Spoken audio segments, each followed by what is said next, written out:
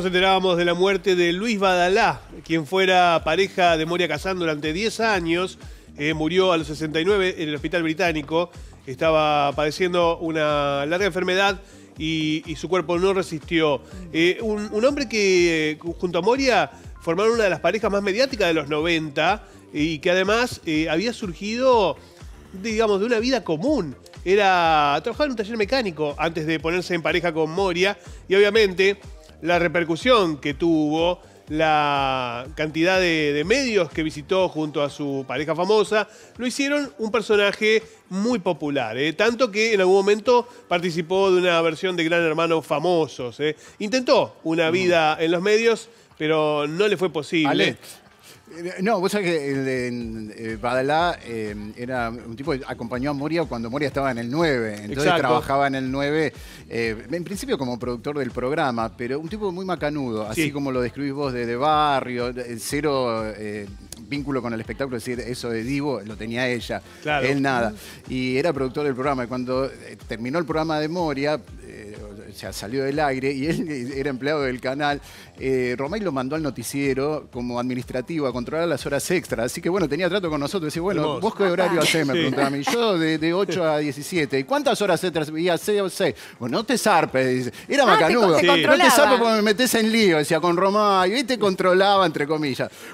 Era muy- era muy, sí. Así que estuvo de administrativo en el Muy- noticiero. Muy divertido. Yo lo, lo he entrevistado varias veces en su momento y em, lo he entrevistado en su taller mecánico. Sí, sí, eh, sí. Le gustaba correr carreras este, y también era jugador de básquet.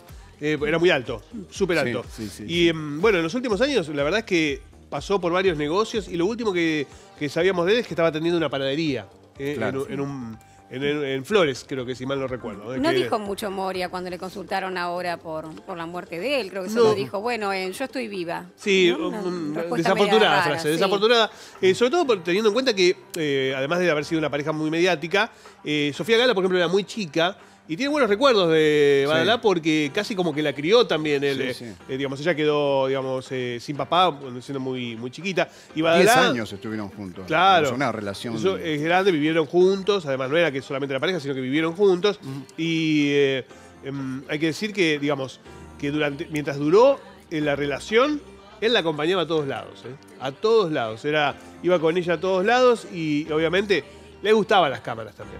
Eh, a pesar de que no era, eh, digamos, no era actor ni nada por el estilo, a él le gustaban las cámaras y aprovechó ese momento de fama como para aparecer en distintos lugares, ¿no? Pero bueno, ya hace un tiempo que no se sabía mucho de él, que estaba alejado de los medios y que, bueno, vivía justamente en emprendimientos privados, ¿no? Terminó muy mal con Moria. ¿no? Muy con mal. muchos rumores. Muy mal.